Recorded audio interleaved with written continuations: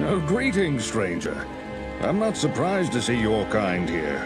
Many adventurers have traveled this way since the recent troubles began.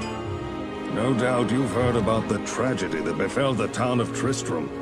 Some say the Diablo, the Lord of Terror, walks the world again. I don't know if I believe that, but a Dark Wanderer did travel this route a few weeks ago. He was headed east to the mountain pass guarded by the rogue monastery. Maybe it's nothing, but evil seems to have trailed in his wake. You see, shortly after the Wanderer went through, the monastery's gates to the pass were closed, and strange creatures began ravaging the countryside.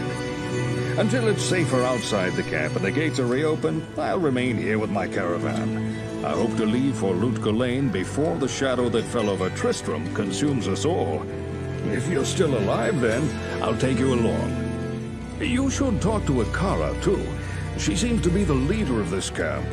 Maybe she can tell you more.